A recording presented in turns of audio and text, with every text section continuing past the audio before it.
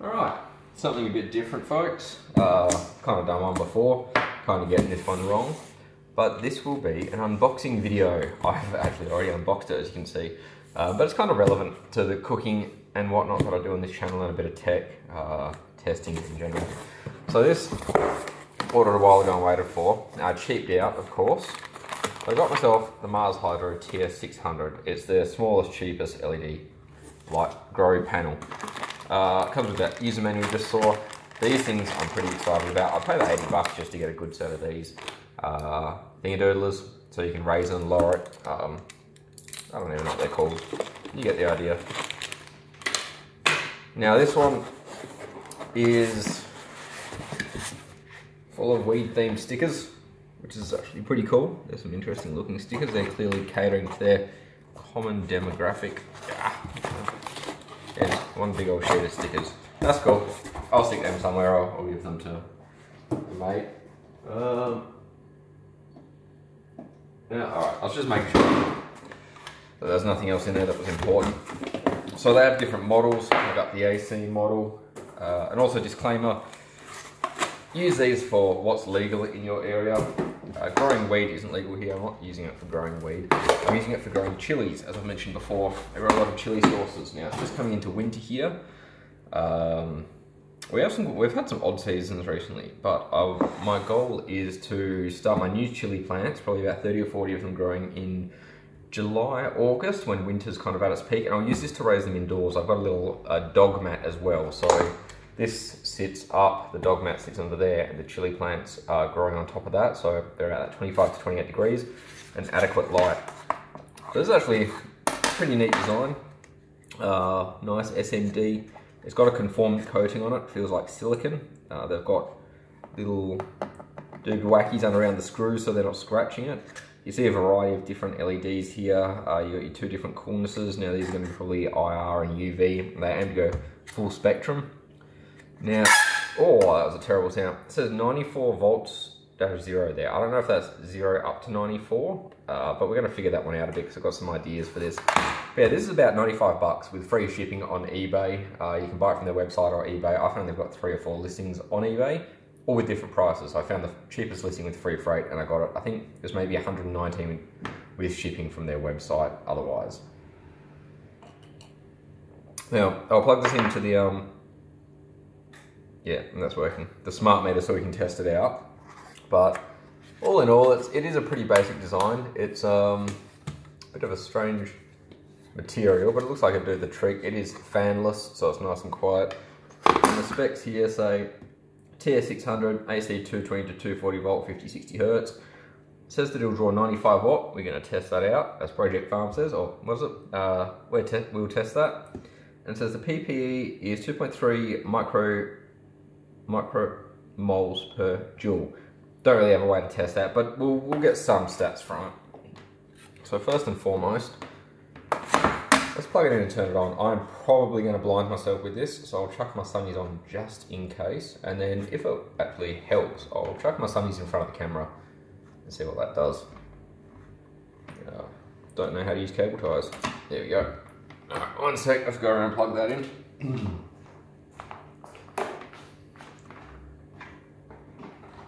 and then we'll do some less safe science. Alright, sunglasses. These aren't gonna make much of a difference. This is gonna suck. Oh yeah. So, I don't know if you can tell. Um, for me, without sunnies, I can barely look at this thing. With sunnies, I can just look at it. We can see we've got our, our warm and our cool. We've got our, what's gonna be infrared. I can't see any UV on this, geez, I can't even look at that for too long. It's it's bright as all hell. Uh, the camera, what I can see of the camera feed over there, just does not give this justice. But by the way, it's illuminating my hand, uh, or I guess illuminating anything under it. Gives you a bit of an idea. Well, that camera actually adjusts pretty quick. So what it's looking like to me, if I put my sunnies in front of this, it's gonna work. Yeah. It doesn't really show much of a difference. Um, but I cannot look at this with the bare eye. Um, with the sunnies, it still hurts. Now, listing shows it drawing 94.1 watts. So I owe them credit. That's nope. That's actually very accurate. 94.1 watts. Um, I'm I'm impressed that it lives up to spec so far. Too hot. Ah, that's a sticky layer along there, so that might build up dust, but that's probably probably a pretty good idea um, to hold everything together uniformly. So let's turn it back on. Just see, oh Jesus, that's bright.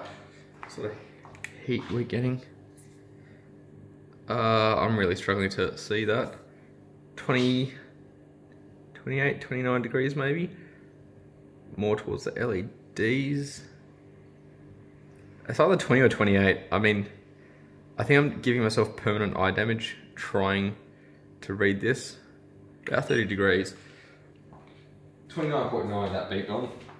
Pardon me, all this um, so much sugar stuck to me from the last video. All this wine's uh, making things a bit difficult. Oh, that was, yeah, that looks pretty cool. Can't really see it from your ankle, but anyway. Now, might be able to give you a closer view here. Ah, it won't quite go low enough. Dang. Oh, there's a good little magnifying lamp. Does some neat stuff. Yeah, it gives you an alright view. It's a bit warped. So there's a lot of LEDs. They say it's 600 watts equivalent for anyone that's into the growing specs, uh, but only draws 94 watts because of the LED efficiency. So I think that's pretty good. It is radiating a bit of heat. I can definitely feel some on it. Um, yeah, this is now saying about 34 degrees. Let's have a look at this little lux meter I've got. Now this this thing is pretty good. It's a little Dr.meter LX1330B. It doesn't compare to an actual quantum par meter, uh, but I think it gives pretty bloody good approximation. So if we turn this off, oh my god, that's good. I can actually see again. When I blink, I can see this thing. I could probably draw it schematics and engineering diagrams just by closing my eyelids and looking at the impression on them. All right, so this is showing uh,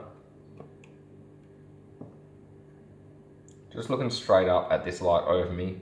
800 900 lux. So even with the reflection off the surrounds that pretty much doubles straight away. That's gone to a sorry you can't quite see it from there. Um, it's gone to about 1500 ish lux straight away. 1400 1500 lux. There is no position I can put that where we can both see it so uh, maybe there. Then what I want to see is if we go six inches from this CCFL that I've got up here, which is a 28 watt CCFL, so six inches in front of that. Actually, it's only give me, only give me one lux. Have I got the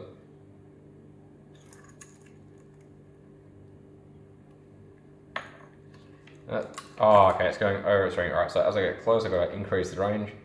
So to the power of 10, it's upside down. It's giving me at six inches, or approximately like one hand span, about 600 lux.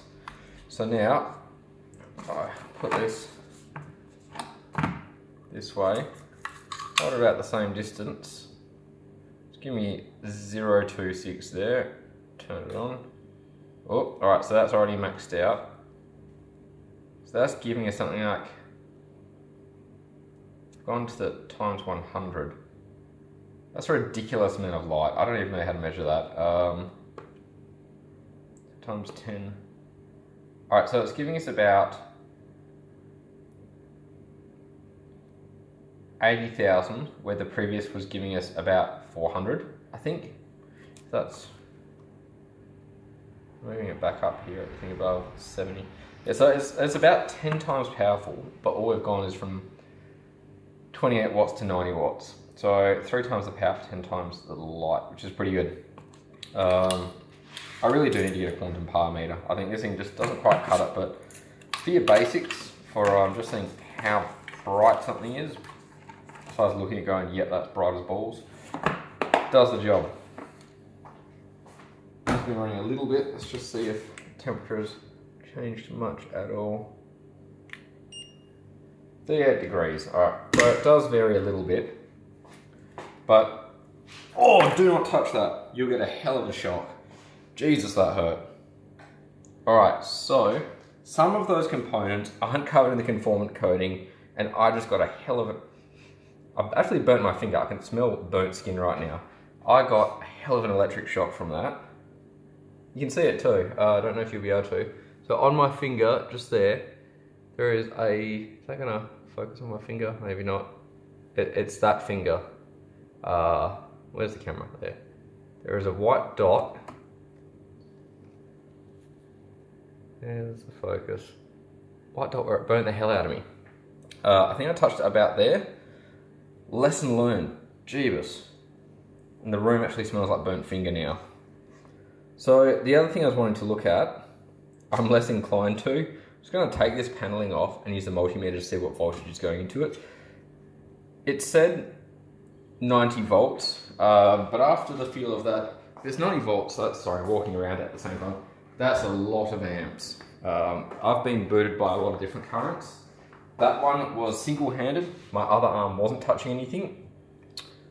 Hurt like hell. I could feel it up to probably here-ish in my arm, all the muscles clenching up. I'd be curious to see what it looks like on the camera. I'll watch this back afterwards, but that must have been up there with a couple of amps, uh, and it shorted through my finger. In fact, it's becoming more visible now just from one contact point to another. You can probably just see that there. Two little white dots. So that was cool, new experience. Um, I have unplugged it now though, for safety. And we'll see, can, see if we can have a look at what's actually going on in here.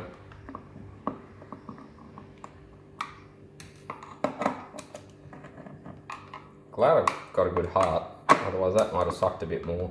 Not that it would have gone through my heart. I'm not earthing on anything at all. I'm not touching anything that's conductive. So that is stuck down. I don't think there's anything else kind of holding it in place other than being stuck out. These edges are a little sharp though. So I might need to get a spatula. Oh no. There we go. Alright, so you've got a pretty straightforward transformer, AC to DC. Might actually test this out. Uh, you can see the earth wire is going straight into that screw there, which is bolted through to the chassis. So that proves I wasn't touching anything, because if I touch whatever I touched there, which looks like either a resistor or a capacitor, and been touching the chassis, it would have triggered the RCD. Uh, but the conformant coating conformal, conformant, conformal coating definitely doesn't cover everything. Those pads look quite good to get to though. You can see there must be a, a rec big rectifier here, some smoothing capacitors, but it's a pretty straightforward, good assembly. So let's double check what sort of voltage it's getting because I feel uh, comfortable testing that now that I can see what it looks like.